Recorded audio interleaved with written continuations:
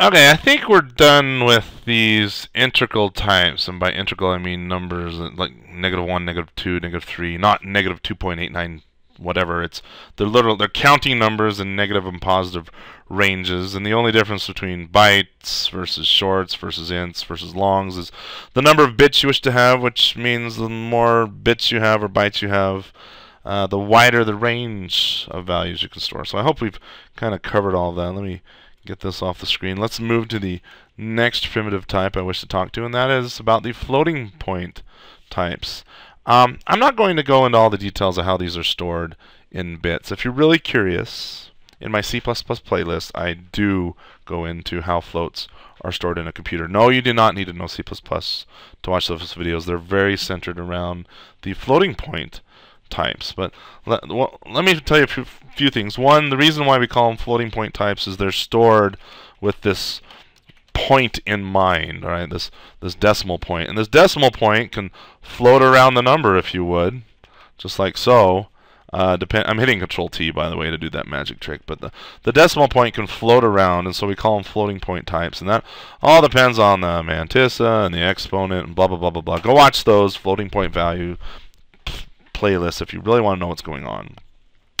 But one thing I will say in this video playlist is a computer is a discrete machine, which is a fancy way of saying it can count uh, numbers 0, 1, 2, 3, 4, 5, 6, 7, 8, 9, but it actually does it in binary. So a computer being discrete is even more hardcore because discrete means 0 or 1.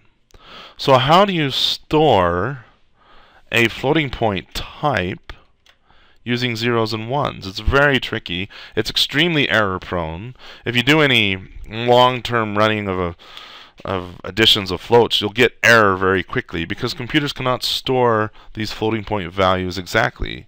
The number line is still quantized. Now, what do I mean by quantized? Well, again, I show that in those floating point video playlists, but let me see if I can come up with an example here. I kind of worked one off screen, but let me do float me float, and I'll show you what I came up with. 0.7f, and I have to suffix it with f, because otherwise, without the f, it'll interpret the literal as a double, which is just 32 more bits than a float. Okay, float is 32, double is 64, so I have to suffix that with an f to make the compiler happy. And then down here, I'm going to say me float plus equals point. So how many zeros do I have here? I got. Let me just copy the value off the screen here. Bring it on in here. Me float plus that, and then I'm going to console write line. Me float equals 7, or 0.7, sorry, 0.7f. Right, what I'm asking the runtime to show me is, are the bits that are stored in me float, do they perfectly represent a 0.7f? Right, now it's dangerous to compare floats with equality. Right, but but in this case, it's it's a contrived example. I'm doing something straightforward. That's okay. I generally you want to subtract two values that you're comparing, take the absolute value, make sure it's less than some threshold. But for now, I'm just saying, hey, are the bits the same? All right, Control F5, and the answer is false.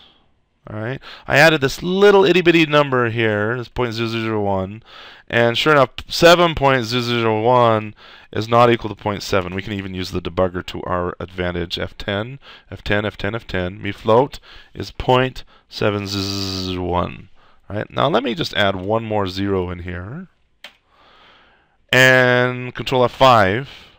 Remember, this comparison here said no, they're not equal. 7 plus a really small value is not equal to 0.7. And now we're saying, hey, yeah, it is true. true. Okay, what happened here? Let me employ the debugger again. F10, F10, F10. Me float is 0.7. Now here's the headache with floats.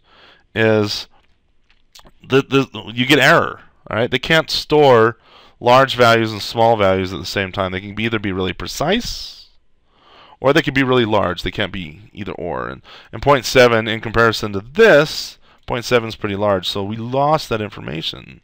So even though it looks like a nice continuous line from float min value to float max value, in your head you may be thinking, oh, if I use a float, I get everything in between here. No, you don't. Okay, you still get discrete steps. For example, here's 0, and here is uh, we'll, we'll say this is 1, okay, and this is 0.7, what we're using in our example right here, and then point uh, 0.701, this value uh, is not on the number line. Okay, if I take away a zero, like I did previously, yeah, that's on the number line. All right, so whatever that is, I'll represent it right here, nice and tight.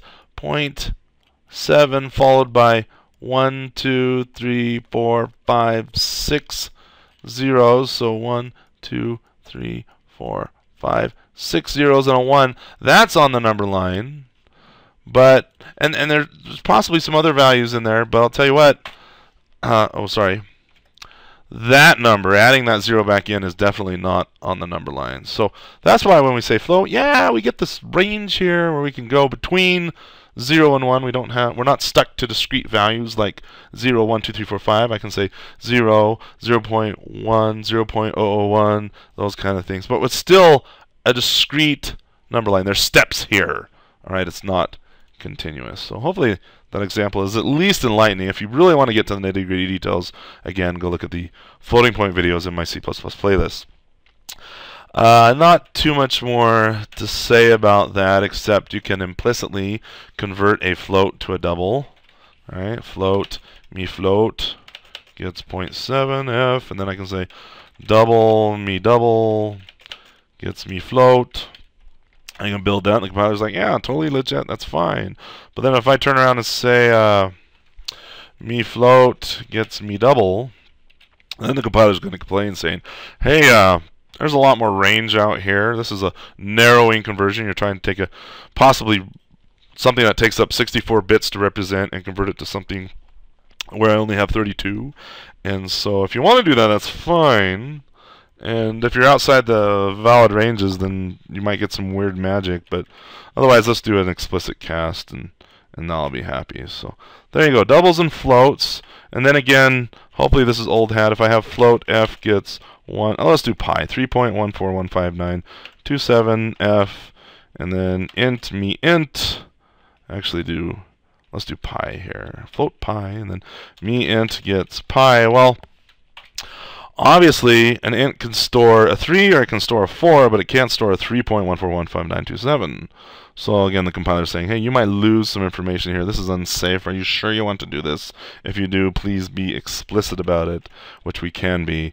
And then we truncate, which basically means bye-bye everything after the decimal point. It doesn't round up or round down. It literally just chops it off, and then we get me int, console write line, it's a 3. Just to prove to you it truncates, let me take this up to a 9999999, control F5.